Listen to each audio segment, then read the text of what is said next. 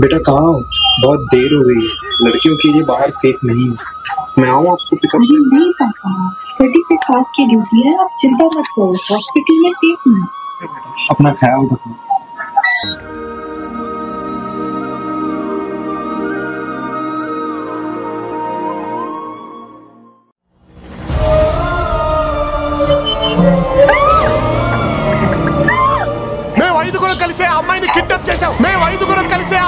రాక్షసంగా హింసించాం సూదులతో పొడిచాం సార్. బ్లేడ్లతో కోసాం సార్. నరకం అంటే ఏంటో చూపించాం సార్ ఒక అమ్మాయిని చూడగానే వెంటనే రేప్ చేయగలుగుతున్నాం సార్. మీరు వెంటనే శిక్ష చేయగలుగుతున్నారా? ఇంతెందుకు సార్? తప్పు చేసామని మేము ఒప్పేసుకుంటున్నాం. రేపో ఎల్లుండో రెండు రోజుల్లో మీరు మమ్మల్ని ఉరిదీయగలుగుతారా భారతదేశంలో ఎప్పుడు ఇలా జరగలేదు రెండు రోజులు ఊరు ఎలా తీస్తామని మీరే అంటారు. సార్ అందుకే సార్ ఈ దేశం అంటే అంత ఇష్టం నాకు. ఈ కంట్రీలో ఉండే ఫ్రీడమ్ ఏ కంట్రీలో ఉంటుందో చెప్పండి సార్ మీరు.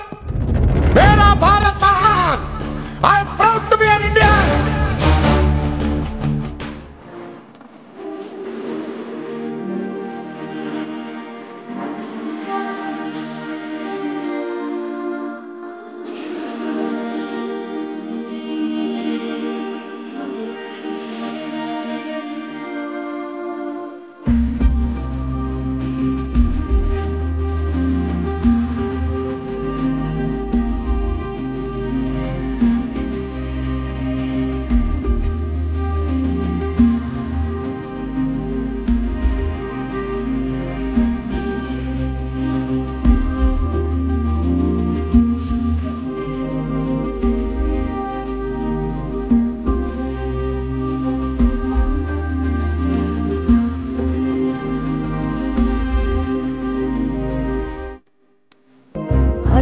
చూస్తారు లోపు చేస్తారు అనాదిగా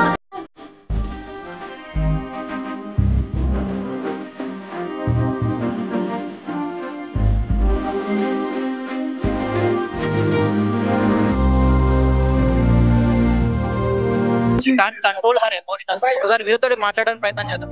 Yes I see like by seeing this trip you completely emotional so what you how you feeling like like ఇట్లా లైక్ ఈ రోజుల్లో ప్రతి ఒక్క అమ్మాయి ఏదో ఒక దగ్గర ఇలాంటి సిచ్యువేషన్ ఫేస్ చేసి ఉంటది.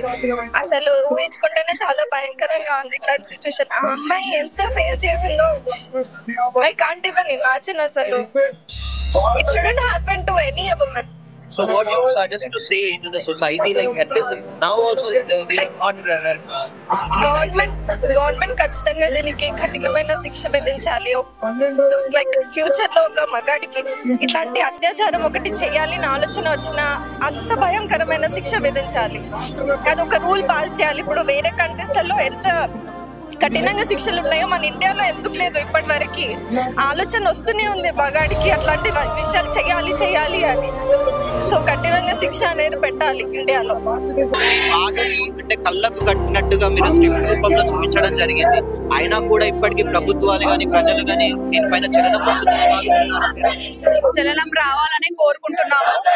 చలనం రావడానికి ప్రొటెస్ట్ కానీ ఈ రోజు మీరు చూసిన ఫ్లాష్ బ్యాక్ మీరు చూసినట్టయితే ఎంతో ఎమోషనల్గా ఉంది. అంటే ఒక చిన్న ఫ్లా ఒక చిన్న యాక్ట్కి అంత ఎమోషనల్గా ఫీల్ అయినారు. అది రియాలిటీలో జరిగితే వాళ్ళ తల్లిదండ్రులు కానీ చుట్టుపక్కల ఉన్న వాళ్ళ ఫ్రెండ్స్ కానీ రిలేటివ్స్ కానీ మేము కానీ మీ తోటి వైద్యులం కానీ ఎంత బాధలో ఉన్నామో మీరు అర్థం చేసుకోవచ్చు. ఈ బాధని ఇది బాధ మాత్రమే కాదు ఇది ఒక దీన్ని ఇది ఒక పెద్ద తప్పు జరిగింది. ఆ తప్పుని వెంటనే ఎవరైతే ఉన్నారో నిందితులు వెంటనే శిక్షించాలి. వాళ్ళని వీలైతే రేపు ఎవరైతే రేప్ చేసినారో వాళ్ళని ఉరి తీయాలి. అండ్ దీని వెనకాల ఏదైతే ఉందో డ్రగ్ మాఫియా కానీ ఆర్గన్ ట్రాఫికింగ్ కానీ సెక్స్ రాకెటింగ్ కానీ ఏదైతే ఉందో అదంతా బయటపడాలి. ఆర్జీకర్ కాలేజ్లో ఎవరైతే ప్రిన్సిపల్ ఉన్నారో వాళ్ళు ఫస్ట్ అరెస్ట్ కావాలి.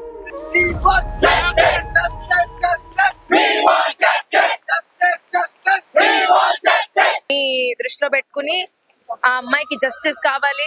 మా డాక్టర్లు అందరికీ ప్రొటెక్షన్ కావాలి. అసలు అంటూ ఇన్ జనరల్ ఉమెన్ అందరికీ ప్రొటెక్షన్ కల్పించాలి ప్రభుత్వం అని చెప్పేసి కోరుతూ నేను Osmania medical college Gandhi medical college ESIC ఇంకా నిమ్స్ హాస్పిటల్స్ కలిసి మేము పీజీలందరం కలిసి ఇక్కడ ధర్నా చేస్తున్నాము. సో చెప్పండి అంటే ఇది ఒక్కరికి కేవలం డాక్టర్లకి సంబంధించినటువంటి సమస్య కాదు సామాన్య ప్రజడికి కూడా సంబంధించిన ప్ర- సమస్య. కానీ ఇప్పటికీ కూడా ఎటువంటి ప్ర- ప్రజలు కానివ్వండి ప్రజా సంఘాలు కానివ్వండి విద్యార్థి సంఘాలు కానివ్వండి ఎవరు కూడా చెల్లించకపోవడం దీనిపైన మీరు ఎలా భావిస్తున్నారు ఇది చాలా చాలా బాధాకరమైన పరిస్థితి. ఎందుకంటే హాస్పిటల్ అనే ప్రదేశము దేవాలయం లాంటిది దాంట్లో చాలా సేఫ్ అనుకుంటాం మనం. సేఫ్ జోన్ అనే ఉండాలి. అలాంటి స్థానంలోనే ఇలాంటి ఘోరాతి ఘోరమైన చర్య జరిగిందంటే ఇంకా సామాన్య జనుల దగ్గర ఇంక ఎన్ని జరుగుతూ ఉంటుంటాయో రోడ్ల మీద ఇంకా అన్సేఫ్ ప్లేస్ మహిళలని రెస్పెక్ట్ చేయండి. ఆడవారు మీ అమ్మలు మీ సిస్టర్స్ అండ్ వాళ్ళే కాకపోయినా ఒక నారీ శక్తికి మీరు రెస్పెక్ట్ ఇవ్వాలి. అండ్ డాక్టర్లు అనే వాళ్ళు చాలా కష్టపడి మీ హెల్త్ కోసమని సర్వీస్ భావంతో చాలా కష్టపడి పనిచేస్తున్నాము. చాలా స్ట్రెస్ మెంటల్ ఫిజికల్ స్ట్రెస్ ఉన్నా కానీ మేము మా సేఫ్టీ కి కూడా ఆలోచిస్తూ పని చేయాలంటే చాలా కష్టం అది. సో మా డాక్టర్లకి అలానే డాక్టర్ అనే కాకుండా మహిళలకి ఒక సేఫ్ సొసైటీ ప్రొవైడ్ చేయాలని దీని మీద చాలా అవేర్నెస్ క్రియేట్ చేయాలని నేను ప్రజల్ని కోరుతున్నాను. ఇది సాటి మనిషి యొక్క ప్రాబ్లం డాక్టర్ ఇంజనీర్ లాయర్ అనేదే కాదు. It boils down to humanity. ఒక మనిషి యొక్క బేసిక్ రైట్ ఇది సేఫ్టీ అనేది. సో ఇది ప్రొవైడ్ చేసేలాగా అవేర్నెస్ క్రియేట్ చేయండి.